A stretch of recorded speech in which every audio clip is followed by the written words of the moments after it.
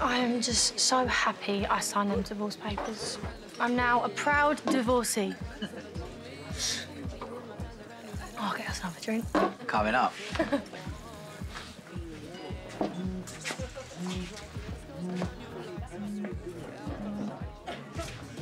what are you doing? You were at the bar. I was just. Just what? Invading my privacy. Oh, no, let Is go. this your phone?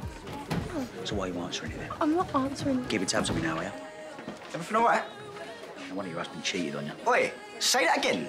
Don't ever touch me or talk to me like that again.